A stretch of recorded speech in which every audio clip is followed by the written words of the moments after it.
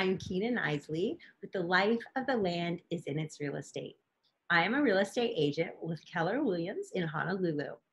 And this week we have Troy Wada with Impact Wealth Solutions here to tell us about a Delaware statutory trust. Some of you landlords who don't want to be landlords anymore might really find this interesting.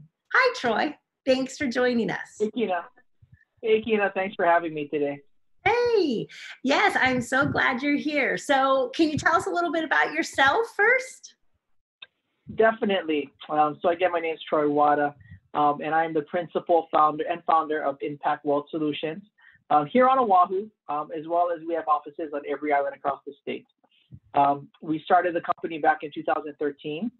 Um, fast forward today, uh, we have over a thousand clients statewide, um, and we work with companies such as Hawaii Electric, um, Hawaii Financial Federal Credit Union, uh, Hawaii Government Employees Federal Credit Union, and Hawaii Electric Employees Federal Credit Union, uh, working with their membership um, as well as those employees um, on overall holistic financial planning and wealth management.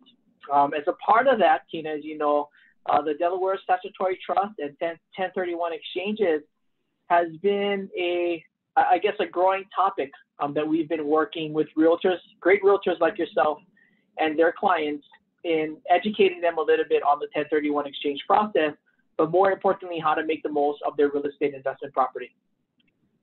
Wow. Okay. So I know there's people out there and they're thinking Delaware Statutory Trust, that must be only good in Delaware. So, what exactly is a Delaware Statutory Trust? Um, a Delaware Statutory Trust is basically, or it will look and feel like a real estate investment trust, um, but it's very different. And the biggest difference uh, with a Delaware Statutory Trust in comparison to a real estate investment trust is number one, um, it allows the investor to 1031 exchange proceeds from their investment property into this particular investment vehicle. Um, and number two, you know, by doing that, it allows them to defer the taxes. Whereas if they were working with a traditional real estate investment trust, uh, that tax benefit is not allowed um, by doing that. Um, but some similarities in regards to a real estate investment trust and a Delaware statutory trust um, is that it, it, consists of institutional grade real estate, um, which people pool their money together, um, up to 500 different investors, and therefore by 500 different investors pooling their money together to buy um, a particular property, for example, it might be ESPN's uh, U.S. national headquarters, uh, we're able to buy much better quality institutional real estate. Um, and for, as you mentioned, for those people tired of managing their real estate, um, it gives them a way to be active in the real estate investment market or to take what they've built here in Hawaii, but get out of the management duties, you know, and, and the management headaches. We, we like to call those the terrible T's um, with the toilets, tenants, and trash, you know. Uh, they can basically enjoy the good T's, you know, the the tennis, um, the traveling, you know, um, or, or, just talking story with friends and not having to deal with any other management headaches. Okay, so let's back up a little bit. And what exactly is a 1031 exchange? We um, so if, if you don't mind, Eric, if you could if you could put that up on the screen there for us, uh, starting with maybe slide number two. Um, basically, what a 1031 exchange is is that it, it allows real estate investors the ability to defer capital gains tax, um, as well as the 25% depreciation recapture and in some cases, the 3.8 Medicare surtax. Um, but there are some rules that follow the Delaware Statutory Trust. Um, what I mean, the 1031 exchange. I'm sorry. And if we look at slide uh, number three, basically, um, with that, with those provisions, there's timelines. And, and what that means is that, you know, first of all, when we sell a real estate investment property, in order for us to take advantage of these tax benefits, we need to buy equal to or greater than the value of the property we originally sold. Um, but there is a timeline, and that timeline that we need to follow um, that was listed there is from day number one, we need to identify replacement property within 45 days. Um, if we fail to do that, basically what happens is that it would be considered a failed 1031 exchange and then force your investor to pay all of those taxes that come across with selling property that has gains in them. Um, but not only that, there's another hurdle that we need to pass, and that's basically not only do we need to find qualified replacement property or what we call like kind property within 45 days, we actually need to close on that property or one of the properties within 180, which Keenan, you can imagine you're the expert in this.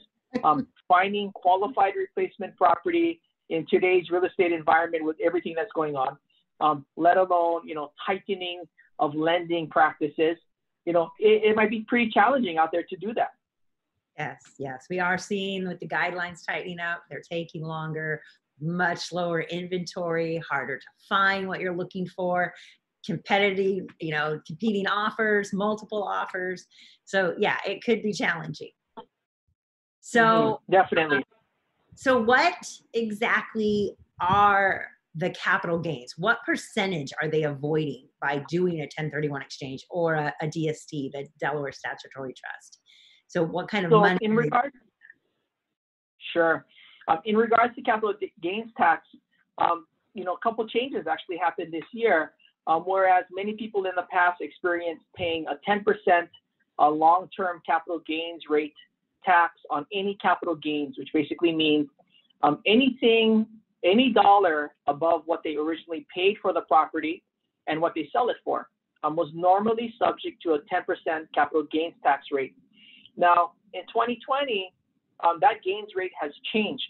Um, it is now, depending on how much money you make, you could pay 0% capital gains tax, which will apply to very few people um, because that income threshold is about $40,000. But if you make more than that, your long-term capital gains tax rate this year in 2020 has increased to 15 or 20%. Now, of course, we're going to advise um, all the investors out there that before uh, you go ahead and sell your property and you want to figure out what the taxes are, please consult with your tax professional. Uh, this would be your CPA um, or, someone of that magnitude um, to make sure that you know you know and fully understand what tax rate that you're in um, based on the capital gains that you're looking at. But beyond long-term capital gains, when it comes to selling investment property, there are several other taxes that would apply. Um, number one would be what we call a depreciation recapture. So since you've originally bought the property, um, you have the ability to recognize depreciation on your investment property. And if that was a residential property, that depreciation is divided by 27 and a half years. And if it was commercial property, your depreciation will be divided by 39 years. What depreciation allows you to do is basically depreciate the value of the physical building which then gives you tax benefits on some of the rental income in which you're collecting today. Um, that rental income, a portion of that based on your depreciation is tax deferred, right? And again, it's tax deferred, not tax free. And if you sell your property um, without doing a 1031 exchange, 25% of that depreciation will be recaptured and then taxes will be owed on that amount. And then lastly, depending on your income, um, you could be subject to a 3.8 Medicare surtax, um, and that would be in addition to your long-term capital gains tax rate as well as the depreciation recapture. So, you know, Kina, as we talked about many times before, you know, it makes sense for most investors. Of course, your situation, with everyone's situation varies, um, but to look at a 1031 exchange because you could be saving a lot of money on taxes. So, so it, it this this 1031 exchange and a DST or the Delaware Statutory Trust is only for investment properties, correct? It's it's not for your personal residence. It's investment properties only. Absolutely. Um, 1031 exchanges only apply to investment property. And actually, if you, it's your primary residence that you're planning to sell, um, many of you know we have what we call a Section 121 homeowners exemption, where it's $250,000 if you're a single person above whatever you paid for it, you get to take out of the property tax free, and it's 500,000 for a married couple. So, okay. And is there a certain time that you have to own your investment property before you can say, okay, I want to put these into a DST? What if someone buys a rental and they're just like, being a landlord is just not for me? Um, is there a certain time they have to keep the investment property before they can roll it into a 1031 exchange or the DST? Usually, the timeline or the recommended timeline is about two years. Now, of course, you'd want to confer with your CPA um, because we've seen some cases where the property was held less than two years, um, but it's still classified as investment property because it was not their primary residence, and the client was still able to do a 1031 exchange. Okay, so say I bought a property. I don't really like being a landlord. I'm ready to, and I kept it for two years, and I'm ready to do a DST. So, so what what would I need to do, and and what are the benefits of doing it? Well, the first thing you probably want to do is contact you, Kina, uh, to see what what the property is worth. You know, um, because what we want to find out is, you know, based on what your property is worth, what it would sell for, you know, what your mortgage balance is, you know, what what you would want to move or what the equity will be moving towards a Delaware statutory trust. Now, on average, most Delaware statutory trusts pays about a 5% cash on cash return. So, for example, you know, a million dollar property with a $500,000 mortgage, you know, when you sell the property, the first person that gets paid off is your bank, which leaves you with 500,000 in equity. Um, if you were to 1031 exchange that $500,000 in equity into something like a Delaware statutory trust, you could probably expect about 25,000 a year net rental income, um, and which many people find attractive because, Kina, as you know, um, many of our rate of returns or cash on cash returns here in Hawaii is usually lower than 5%. I mean, what, what would you say um, our average net rental rate is here in Hawaii? Oh, you caught me up on that one. So th- I know a lot of people are looking for seven. We're averaging mm-hmm. three or four. I know. I yeah, and that's yeah, that's pretty common. You know, um, what we see a lot is about one to three percent. You know, four would be great. Um, you know, but getting a five is nice. You know, and, and that's kind of what a DST is. Yeah, investors are looking for seven. They're always wanting that that rate of seven, and it, it is tough to find in Hawaii. Very tough. Very tough to find. So yeah, so um, I'm ready to get my DST. Um, what what do I have okay. to do after they get done with me? And they let me know they so want to. once they get done with Kina, and and we figure out what we're going to sell the property for, and we run the numbers. What we need to do is we need to we need to notify what we call or who we call a qualified intermediary. Now this could be someone like Julie Bratton over at Old Republic or Tiffany Davies over at IPX 1031 and what we need to do is we need to ensure that we get a qualified intermediary in place because anytime we receive, we have what we call constructive receipt of any funds, meaning that if you decided to sell your property with Kina and we skipped the qualified intermediary part and your money went to a title or escrow company like Fidelity, what would happen is that if we did not set up the qualified intermediary account, the minute the money hits the, hits your account and we close, um, that will be taxable. Um, so we want to make sure that we dot our I's, cross our T's, um, and basically set up a meeting with our qualified intermediary, set up that account uh, to notify them we will be doing a 1031 exchange, as well as working with the title and escrow company to notify them we'll be doing a, t- a 1031 exchange. And then basically what happens is we close on the property, the funds get sent to Fidelity, which then gets forwarded to our qualified intermediary. And at that point, the 45 day window starts ticking, where we have two ways we can identify property, whether it's a three, three property rule um, or a 200% rule, which means that we can identify up to three properties or twice the value that we sold for that we need to replace. Okay, so can someone take their funds from the investment property and roll them into a owner occupant? No or, or can they? Um, they, there are rules for that. And of course, you're going to want to work with your tax professional as well. Um, but we have heard of instances where people get an investment property, rent it out for a period of time, and then later on move into it. Okay, so say they've inherited an investment property and they want to sell it and, and use the funds to purchase their own home. Um, is that something you can do without paying the capital gains taxes? The, the, the factors to consider, number one would be a date of death appraisal. So based on real estate and non-retirement stocks have great tax benefits to them. And, and the biggest one is what we call a step up in cost basis.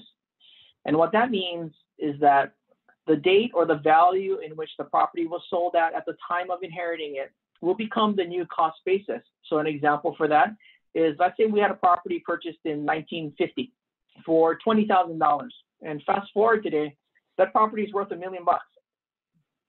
If we, if, if our owner or our investor inherited that property and at the time its cost basis was $900,000 or even a million bucks, and they decided to sell it the next day, um, they would pay little to no capital gains tax because their cost basis is a million. They sell it for a million, zero gains. You know, at that point, you know, they could take whatever proceeds they have and then buy another property um, which they could live in, no problem. Okay. Okay. So let's go back to we want um, we want to do our DST. So I've come in and I I don't want to buy any more properties. I don't want to be a landlord anymore. How can you help me? So Eric, if you pull up slide number three, you know these are some benefits of why people look at a Delaware statutory trust, um, you know, as a way to either get out of the management um, or, or, or create a better estate plan. You know, and, and because the DST is usually pre-existing, um, it doesn't require the investor to manage it. You know, the best or the best benefit that we get a lot is that it removes them out of the management responsibilities. You know, number two, it allows investors to get access to institutional grade real estate, which normally as a single investor they can't really do on their own. But by pooling the money with 500 other people, it allows them the ability to buy bigger and better property. Um, you know, limited personal liability. Uh, there are loans, you know, that are associated with some of these Delaware statutory trusts. And the reason why that is, is because if you remember, as I mentioned earlier, uh, successful 1031 exchange requires you to buy equal to or greater than in real estate in terms of the value of the property that you just sold. Not everyone owns their property debt free. You know, in that example of that million dollar property with a $500,000 mortgage, um, in order for them to avoid or defer taxes, what they need to do is they need to buy a million dollars worth of property, but they only have 500,000 in equity. The Delaware Statutory Trust allows the investor to participate in the loan that's already put on um, this Delaware Statutory Trust, but never have to qualify for it. And because they never have to qualify for it, legally they can't be liable for it, which is why we call it a non-recourse loan. Um, this is very big, you know, for many investors because it's a great way for them to basically be hands-off in the management, um, get a stable or steady rental income coming in on a monthly basis, but ultimately become debt-free, um, paying off those mortgages on those investment properties and not having those liabilities. Um, the minimum investment, you know, for the Delaware Statutory Trust is $100,000. Um, another benefit, it allows our investors to be diversified, not only um, geographically, because a lot of these DSTs do not reside in Hawaii, but it also allows our investors to be diversified by asset class. We can choose to invest in things like healthcare related properties, like senior living centers, um, the radiology department at NYU, um, student housing, multifamily um, or even office buildings like the ESPN property I mentioned. Um, it's a great insurance policy as well because these properties are usually readily available and that 45 day window of that identification period um, won't really apply to us because we'll know what we have available and we can usually identify the day that we close our property. Um, as I mentioned, you know, the one benefit of using the DST is that when designed correctly, we can basically minimize or eliminate all taxes associated um, with the exchange or with the sale of that property. But more importantly, the DST creates a great estate planning vehicle which allows you to hold on to real estate. You know, whether it's aging property that is in need of repairs coming up, you know, and you don't want to repair it. Um, you know, owning this this type of physical real estate allows you to take advantage of the step up in cost basis and basically do what we call a swap until you drop. You know, uh, keep 1031 exchanging into properties in which you don't have to maintain. Uh, keep getting that income to basically leave it to your beneficiaries so that they would have that step up in cost basis and basically sell it to, with little to no taxes associated with that. So you mentioned the income. So what mm-hmm. kind of income could because could a person expect from the DST? So on average, as I mentioned earlier, it's about five percent cash on cash return, right? So is what we can expect. Is that coming monthly? Is it is it like a monthly income they can try to live on? Does it come yearly? It's a five percent annual um, net cash on cash return, which is paid out one twelfth every month. Okay. Um, which is another benefit of the DST. You know, in past when we work with clients, um, even your clients, you know, where you know they're selling their investment property, we're usually able to close, identify, and have them getting rental checks uh, within you know less than a month, within a couple weeks, right? Which is a good benefit, you know, for for some people because it, it kind of minimizes that interruption of rental income coming in because they sold their investment property. Yeah. Um, so say they're in this DST for nine months and something comes up and, and they need their money out. Is that something they can mm-hmm. do? Can they get the money out or can they take like an equity loan like they would on a property? They're, they're not allowed to take an equity loan um, because they're not on title of the property. Um, this is what we call fractional ownership. Now, however, if they decided they needed to get their money out, um, there, it would be a process that we would need to follow. Now, historically, what has happened in the past is the investor will notify um, our DST or sponsor company um, that they need to get funds out of the property. And what would happen is because you need to be an accredited investor uh, for this, which means that you have a $250,000 annual income or a million dollar net worth exclusive of, exclusive of primary residence, we need to find another accredited investor to buy that person's interest. So the sponsor company um, will go out there and help us find that accredited investor uh, to replace the proceeds that we would want purchased. And at that point, it's no different than selling any other real estate, where um, we need a willing buyer um, because we have a willing seller and we will have an agreed upon price. The timeline of this usually happening has been on average, you know, anywhere from 60 to 90 days uh, to, to complete the transaction. Okay, so you talk about being an accredited investor to be able to take part in a Delaware statutory trust. Mm-hmm. So um, if someone has not been accredited, they cannot do a Delaware statutory trust? No, um, they cannot. Now, what we would encourage you is, you know, before doing this or, or wanting to know more information, please reach out to us um, because, you know, being an accredited investor, usually if you own investment property, that investment property counts towards your net worth, right? So many times what we find is that people that own investment property usually are by nature an accredited investor. Yeah. So, but we'll help you figure out, we'll help you figure that out. Yeah. And so, okay. So what were the, what, what did you have to meet to be an accredited investor again? Just so people can kind of keep those in mind. 250,000 in annual income for the last two years or a million dollars in net worth exclusive of your primary residence. Okay. All right. So, so where did this Delaware Statutory Trust come from? Um, just a, a quick little history because I sure. so, yeah. So uh, a DST um, evolved uh, back in 2004. Previous to the Delaware Statutory Trust, a vehicle that was similar to it was what we call a TIC or a tenants in common. And the tenants in common structure was designed where 35 people could pool their money together um, in expectation to buy bigger and better properties. Now, the drawback to a tenants in common was number one, every single person associated with a tenants in common had to number one qualify for financing. Um, in today's day and age, that might be very difficult to do. Um, but not only that, you know, privacy of information and all these things. Uh, number two, a tenants in common is an unregulated um, business entity, which means that business was done on a handshake. So, you know, in fast forward 2004, I always like to say necessity is the mother of invention um, they people realized that they needed to be a better vehicle uh, for people to pool their money together to buy bigger and better properties. And in 2004, the Delaware Statutory Trust was born.